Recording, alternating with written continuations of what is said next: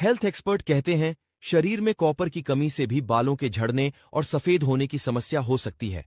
अपने आहार में कॉपर से भरपूर काजू को शामिल करके आप बालों के गिरने के जोखिम को कम कर सकते हैं और बालों को पूर्ण, स्वस्थ बनाए रख सकते हैं।